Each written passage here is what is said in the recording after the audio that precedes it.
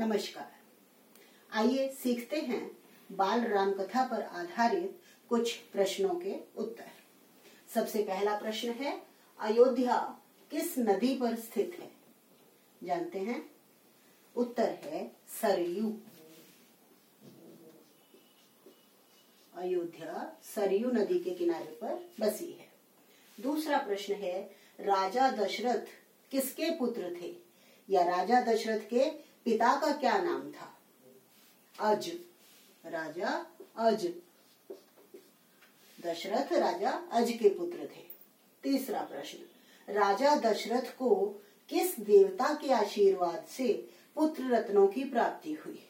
राजा दशरथ को जब पुत्र नहीं प्राप्त हो रहे थे तो किस देवता ने उनको आशीर्वाद दिया था? उत्तर, अग्निदेव। चौथा प्रश्न। लक्ष्मण की पत्नी का नाम क्या था? उर्मिला।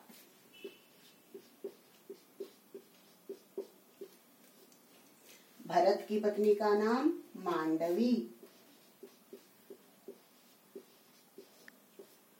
शत्रुघ्न की पत्नी का नाम श्रुत कीर्ति कितना सुंदर नाम है श्रुत कीर्ति राजा दशरथ के महामंत्री का नाम क्या था? सुमंत्र। उनका नाम था सुमंत्र।